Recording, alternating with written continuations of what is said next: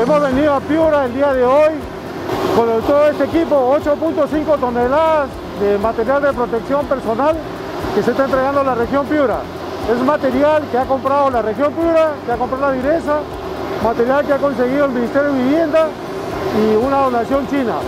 Todo este equipo es para ayudar a los médicos que están trabajando el día a día en la lucha contra la pandemia.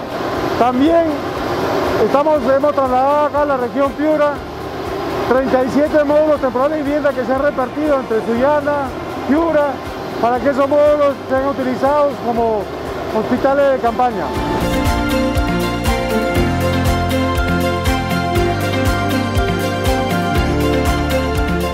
El Ejecutivo, el gobierno local, el gobierno regional, todos trabajamos unidos como ustedes, para que ustedes nos ayuden a vencer a la pandemia. Colaboren con nosotros, así como nosotros colaboramos con ustedes.